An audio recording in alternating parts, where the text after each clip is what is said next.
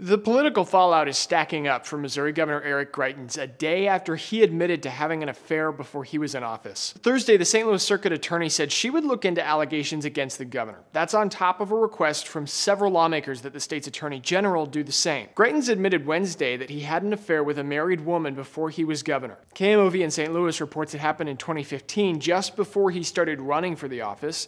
Greitens and his wife released a statement saying they worked through it privately. But the governor denies allegations that he blindfolded the woman and took a nude picture of her to use as blackmail.